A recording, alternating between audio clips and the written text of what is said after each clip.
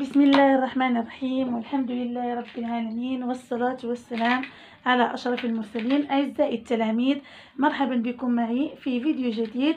هذا الفيديو إن شاء الله سيكون موجه لتلاميذ السنة الثانية من التعليم الابتدائي كراسة مرشدي في اللغة العربية. آه، فيديو اليوم إن شاء الله سنتطرق فيه للنص الوظيفي الثالث. ونحن لازلنا في الوحدة الأولى. آه، والأسبوع الثالث النص الوظيفي بعنوان ندى والسلحفات. ندى والسلحفات صفحة 12 صفحة 12 إن شاء الله غناخدو صفحة 12 13 وصفحة 14 و 15 نبدأ بسم الله بقراءة النص بداية. ندى والسلحفات.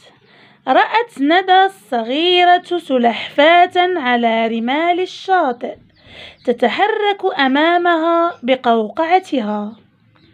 فصاحت ماما ماما أريد أخذ هذه السلحفاة معنا.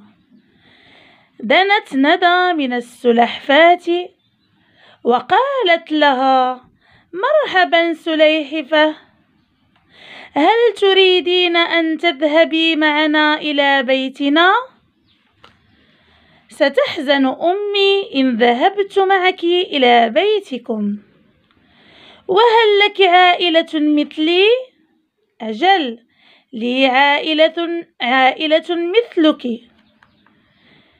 ابقي إذا على الشاطئ مع عائلتك ونادت الأم هيا يا عزيزتي ندى أبوك وأخوك وجدك ينتظروننا.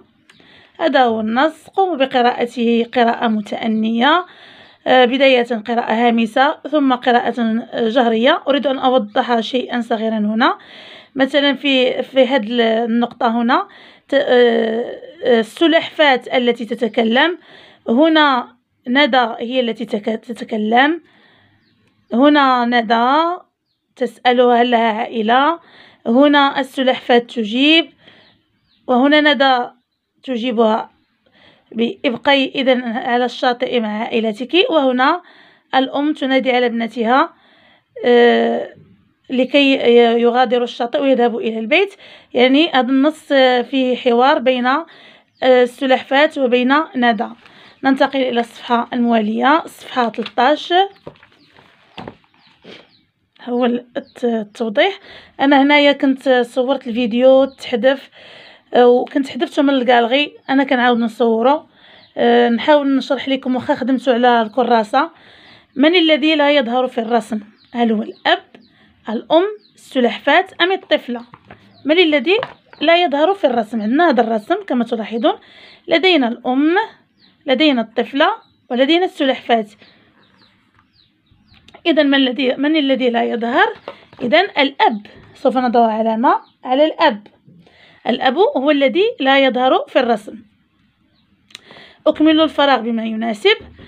السلحفاة أين توجد؟ السلحفاة على الشاطئ؟ على شاطئ البحر. وأيضا على الرمل أو الرمال. نقول على الرمال. كيف هو لون هذه السلحفاة؟ كما تلاحظون لونها أخضر. نقول السلحفاة خضراء. ماذا تفعل السلحفاة؟ انظروا تبتسم. هناك ابتسام مرسومة على محياها إذا السلحفاة على الشاطئ وعلى الرمال.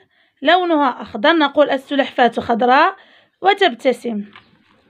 ننتقل إلى معجمي أتمم خريطة الكلمات دنت. آه، نوع الكلمة هي فعل. ما هو مرادفها؟ كما تلاحظون حسب سياق النص دنت ندى من السلحفاة وقالت لها إذا معنى دنت اقتربت. اقتربت. معنى دنت اقتربت. اقتربت ضدها ضد اقترب ودنت هي ابتعدت. آه، جملة مفيدة مثال صغير. دنا أخي الصغير من أمي وقبلها. دنا أخي الصغير من أمي وقبلها. ننتقل إلى السؤال الثاني. ألون خانات الكلمات التي تتضمن حركات طويلة. كما تعرفون الحركات الطويلة هي المد بالألف المد بالواو والمد بالياء. هذه هي الحركات الطويلة. طفلة طفلة كما تلاحظون أصدقائي طفلة كلها عبارة عن حركات قصيرة. عائلة إذا هناك مد بالألف. هذه حركة طويلة. نلون كلمة عائلة. تتحرك تتحرك كلها حركات قصيرة.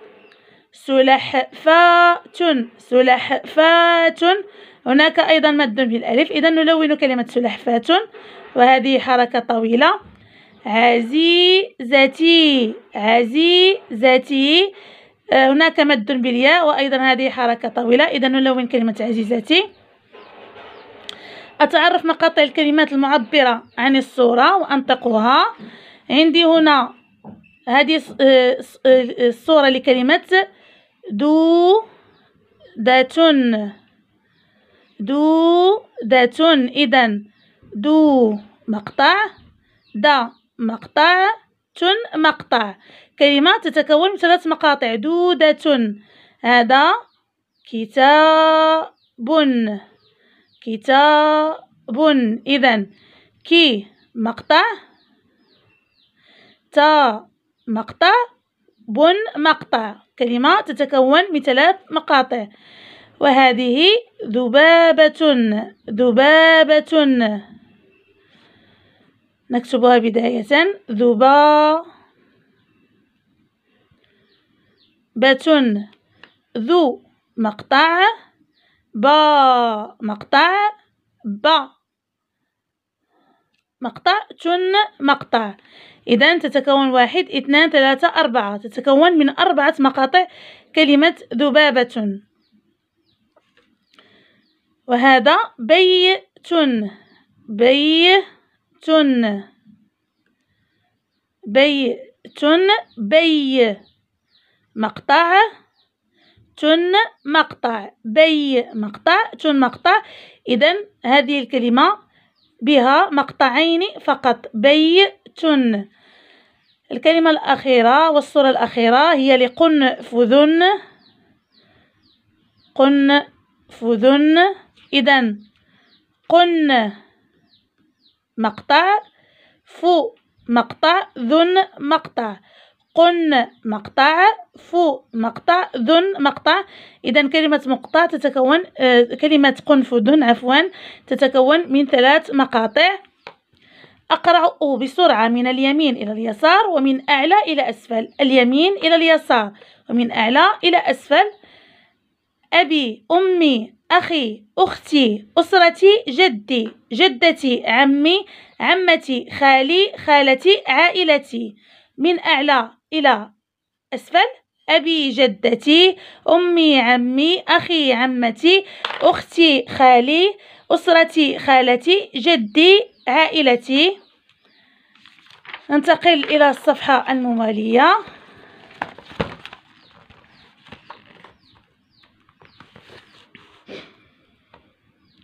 أذكر اسم كل فرد من أفراد العائلة ثم أجزئ الكلمات إلى مقاطع كما في المثال. أم. أم. أو مقطع.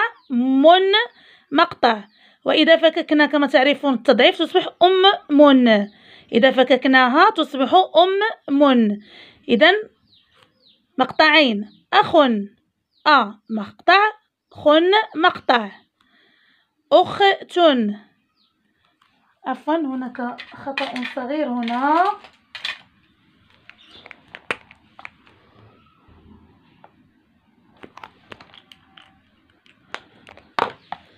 أخ. أخ. أخ. مقطع. تن مقطع. أخ. مقطع. تن مقطع. جد جدة. جدة. جا. مقطع.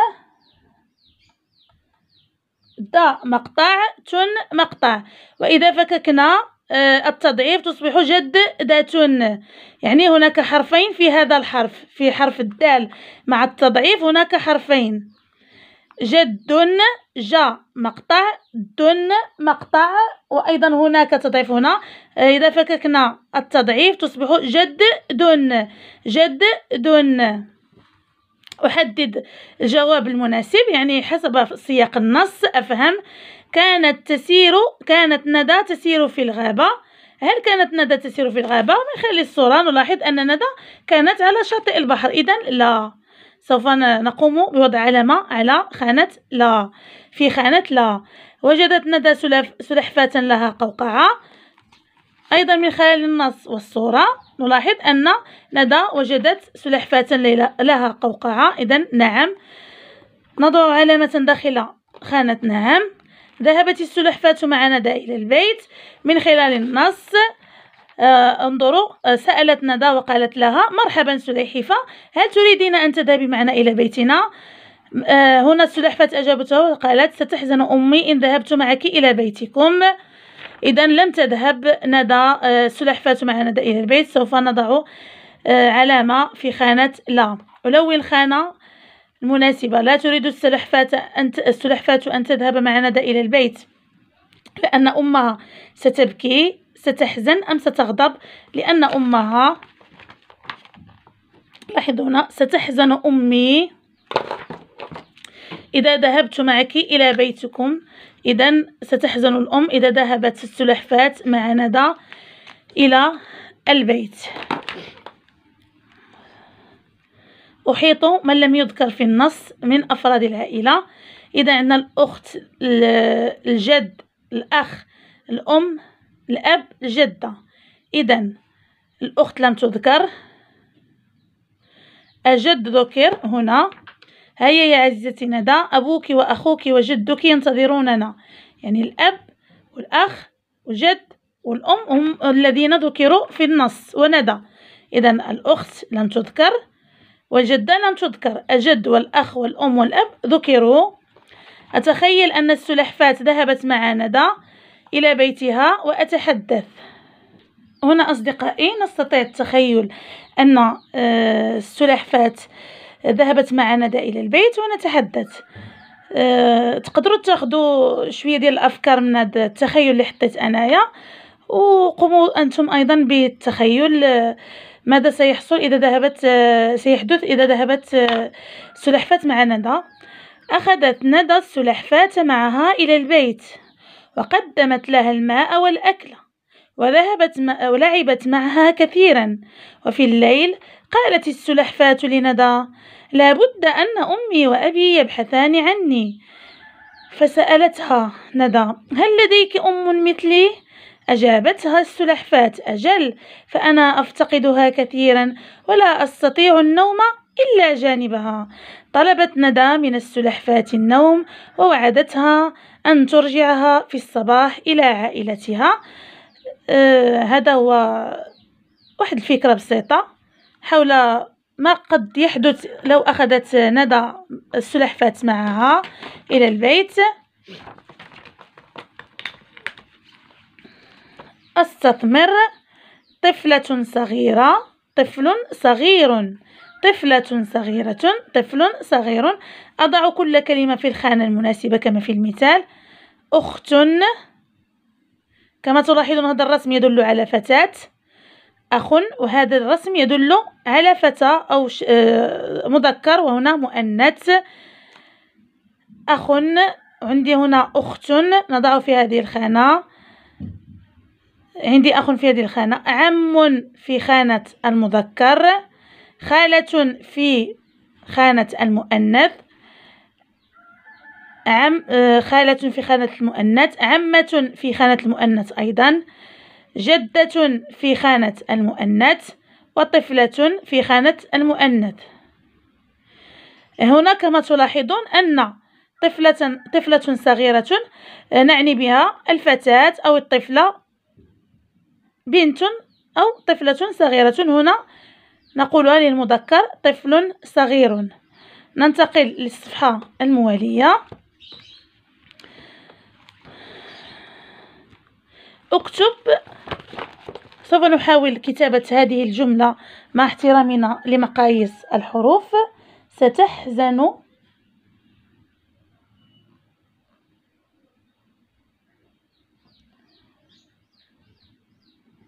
نو؟ أمي.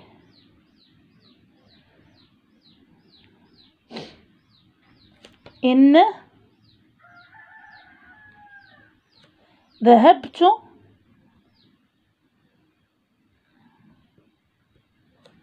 معك. تكتب الكاف بهذه الطريقة في آخر الكلمة. وتكتب كذلك هكذا. إلى بيتكم.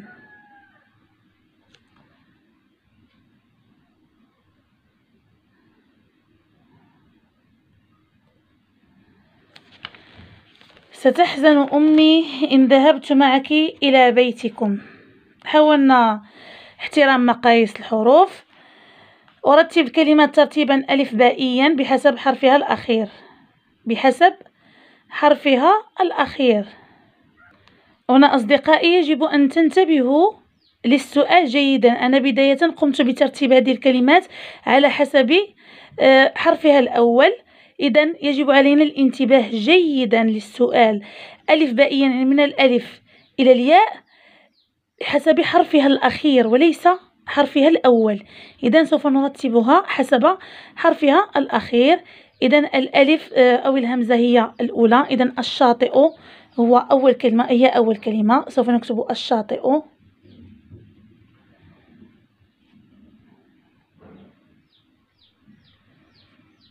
الشاطئ. آه، باء تاء رأت. هي الكلمة الثانية. رأت.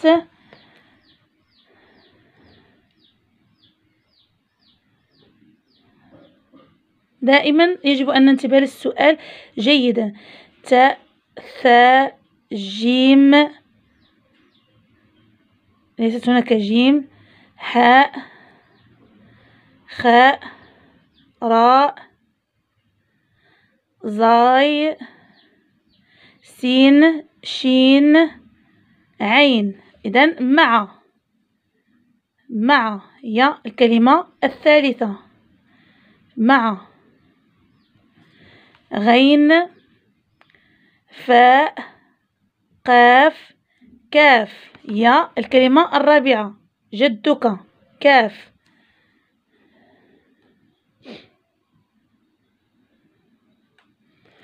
كاف. لام. لام. هي الكلمة الخامسة. رمال. تنتهي باللام. ستحزن. هي الكلمة السادسة.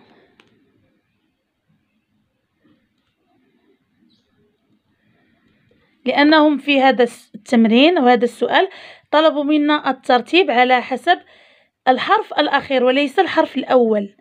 ننتقل إلى التعبير الكتابي. أكتب مسودتي. أكتب اسم أحد أفراد أسرتي لأكمل الجملة. أحب مثلا أحب جدي. وأحب جدتي. ألعب مع أخي وأختي.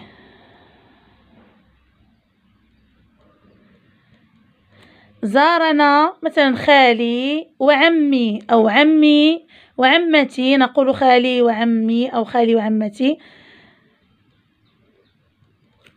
مثلا وزارتنا زارنا خالي وزارتنا عمتي. مثلا. أعيد. أحب جدي وأحب جدتي. تستطيعون القول أحب أبي وأحب أمي. ألعب مع أخي وأختي. زارنا خالي وزارتنا عمتي. نستطيع أن نقول زارنا عمي وزارتنا خالتي. مثلا هذه فقط مجرد أمثلة. تستطيعون استعمال أي فرد من أفراد الأسرة لملء آه، هذه الجمل لاستكمال هذه الجمل. إلى هنا أصدقائي نأتي إلى نهاية فيديو اليوم. أضرب لكم موعدا في فيديو قادم. مع السلامة.